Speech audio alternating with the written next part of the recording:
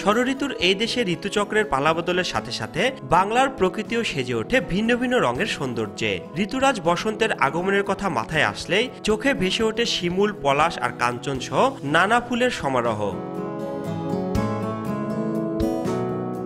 সিরাজগঞ্জের উল্লাপাড়া উপজেলার সলপ রেললাইনের দুধারে হাজার খানেক গাছে ফুটে আছে রক্তরাঙা শিমুল ফুল। ফাগুনের এই আগুন লাগায় এক একটি শিমুল গাছ যেন প্রকৃতির আপন আভায় সেজে উঠেছে।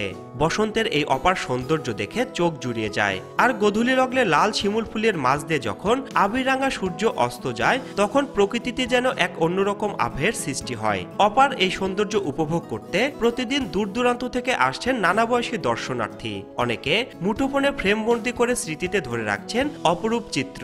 চারিদিকে লাল তারপরে হচ্ছে ফুল পলাশ ফুল পানি সুন্দর ব্রিজ চারিপাশে পাখি কিচিমিচি ডাক। এখানে এসে অনেক কিছুই দেখলাম। এই সুন্দর মনোরম পরিবেশে দেখার জন্য আসছি আমরা। পরিবেশটা অনেক সুন্দর আহ, ফুলগুলো অনেক সুন্দর। অনেক জায়গা থেকে লোকজন আসে দেখার জন্য উপভোগ করার জন্য ফ্যামিলি নিয়ে ঘোরার জন্য আসে অনেকেই। ফাগুনের আহ্বানের আহ্বান আহ্বানের হাওয়া পেতে মানুষ দূর দূরান্ত থেকে ছুটে আসে। বিকাল টাইম এইটুকা অনেক ভিড় থাকে। অন্যদিকে, বঙ্গবন্ধু সেতুর পশ্চিম পারে গড়ে ওঠা ইকো পার্কে শত শত গাছের শোভা পাচ্ছে বাসন্তী ফুল পলাশ। প্রতিটি গাছ ছেয়ে আছে থোকা থোকা পলাশ ফুলে। মাঝ দুপুরে আবিরাঙ্গা পলাশ ফুলের ফাঁকে ফাঁকে যখন চিকচিকে সূর্য উকি দেয়, তখন মনে হয় যেন ফুল আর সূর্য লুকোচুরি খেলায় মেতে উঠেছে। আর গাছের নিচে ঝরে পড়া ফুলগুলো যেন বাসন্তী রঙের চাদর বিছিয়ে আছে। বাসন্তীর পাশে ফুটে থাকা এসব কাঞ্চর ফুলের রঙে প্রকৃতি যেন আজ তার সব রূপ আর রং ঢেলে দিয়েছে।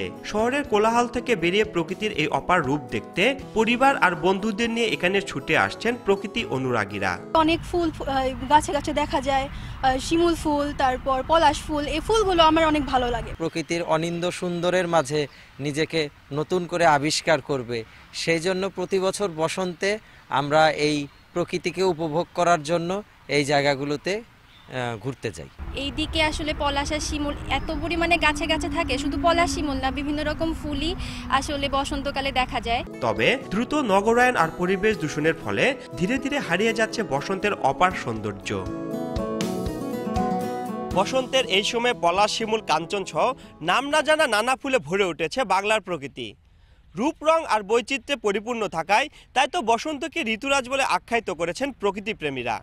তবে পরিবেশ দূষণ এবং জলবায়ু পরিবর্তনের বিরূপ প্রভাবে বাংলার প্রতিটি ঋতুই হারাচ্ছে তার নিজস্ব রূপ, রং আর বৈচিত্র্য। রিঙ্কু কুণ্ডু, সময় সংবাদ, সিরাজগঞ্জ।